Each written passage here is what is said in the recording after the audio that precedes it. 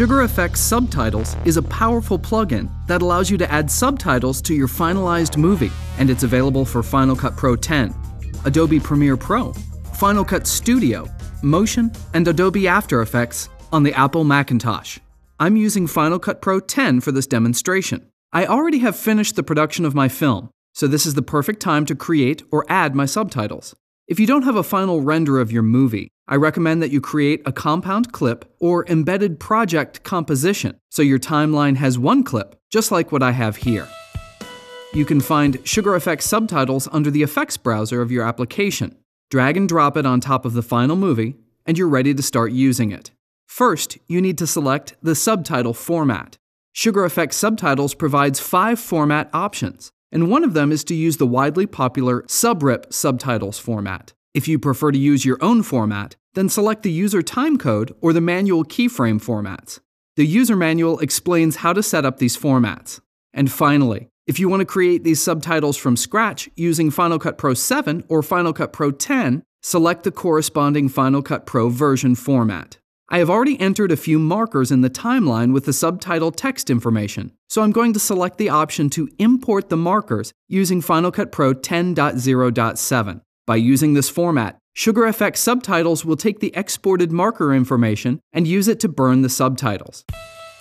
The process of creating your subtitles using this marker method is pretty simple. The blue markers in the timeline are standard markers that I've been using to set the location where I want each of the subtitles to appear. To create these markers, I just hit play from the beginning of the timeline, and when the playhead reaches the point where there is some dialogue, press the Option key and the letter M in your keyboard to make a marker. The playback stops, and you can type the subtitle text in the space provided, and when done, press Return to accept. Hit play again and do the same for the following subtitles. If you prefer to set the exact duration before you export the data, simply right click on the blue marker and change it to a chapter marker. The chapter marker has a different color and a pin. Use the offset pin and position it to set the end of the duration for this subtitle. Just make sure that it doesn't overlap the next subtitle. You can combine standard and chapter markers in your timeline. When you're finished creating your markers, go to the File menu and select Export XML. Save the file using the General Metadata view. Go to the desktop, find the file, and change its file extension to .txt and accept the warning. Back in the application, select the SugarFX Subtitles effect and make sure that it is using the correct format, and click on the Edit Text button to import our exported file. When you click OK to accept, your movie should have the subtitles placed accurately on the timeline.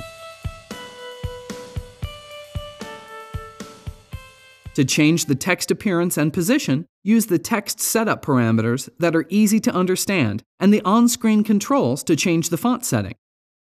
As you can see, SugarFX Subtitles is a powerful tool that provides the ability to import several formats, providing controls to add, create, or import thousands of subtitles in a straightforward fashion, making this process for filmmakers as simple as possible and suitable for international distribution. SugarFX Subtitles is powered by FxFactory, and it's available for download from our website. I suggest you give them a try and experience for yourself how SugarFX Subtitles can benefit the subtitling of your films.